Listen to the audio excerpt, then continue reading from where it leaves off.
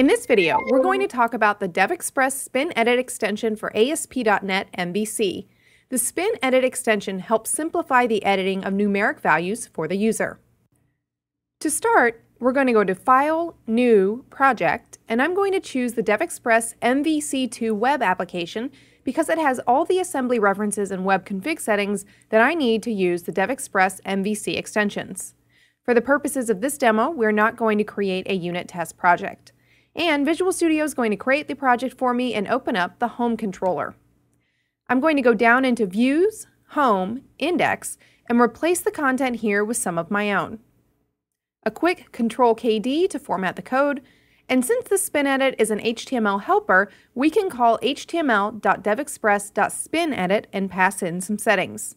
In this case, I'll give it a name of spinedit1, set the display format string to uppercase C, which is currency, and then set the value to 799.95, and you can see here it's a decimal. Finally, I call render on the control, so I'll hit Control F5 and Visual Studio will build the project and start the ASP.NET development server, and then open Internet Explorer.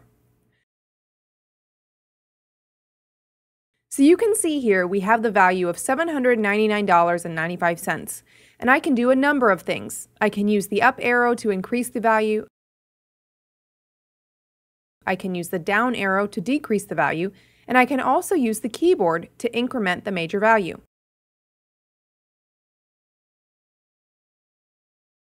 I can also constrain the value that's used. Switching back to the view we'll add in some new code. In this case, I'm setting the min value to 1, the max value to 10, and null text from 1 to 10. I'll hit save and return to the browser and hit F5 and you can see we have our null text here and I can increment from 1 to 10 and then back to 1 again. And it won't let me go outside that range. If I were to type in a large number that doesn't fit, it would resolve to the highest possible value or 10. Or using negative 99, it will give me 1. We can also control the minor value. Switching back to code view again, we'll replace some code here. And here I can tell it you use a number type of float, increment in 0.1 increments, a large increment of 1, and then show large increment buttons equal to true. And I'll pass in a default number of 1.2. I'll hit save and return to the browser. Control F5 to reload. And here you can see that I can use the large increment buttons to increment the major value, and I can use the small increment buttons to increment the minor value. Thanks for watching, and of course, thank you for choosing DevExpress.